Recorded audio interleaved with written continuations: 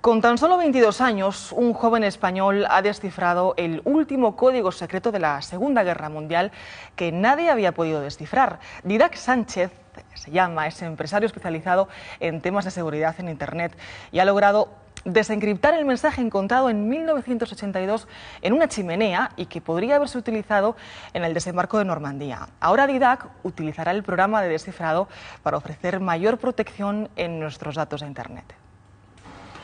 Son los últimos códigos secretos que quedaban por descifrar de la Segunda Guerra Mundial. Y él es Didac Sánchez, un joven español de 22 años que ha logrado averiguar lo que no habían podido resolver las agencias mundiales de inteligencia. Asegura que no ha sido nada fácil. He creado 800 sistemas que no me han servido para nada, ¿no? Es decir, eh, hasta que he dado con el sistema eh, que realmente funcionaba. El enigma de los códigos nos traslada a 1944. La primera pista son estos huesos de una paloma muerta.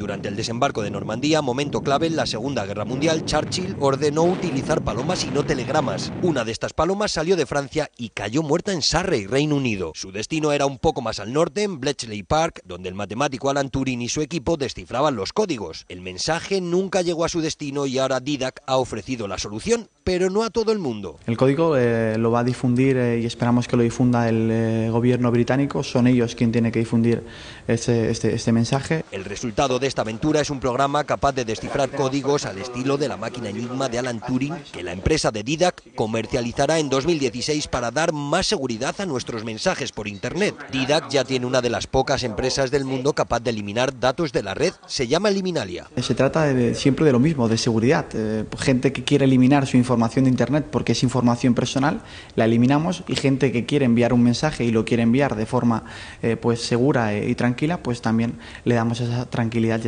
Para demostrar la seguridad de su nuevo programa, Didac ha retado en un concurso oficial a descifrar este antiguo código. El que lo logre recibirá 25.000 euros de recompensa.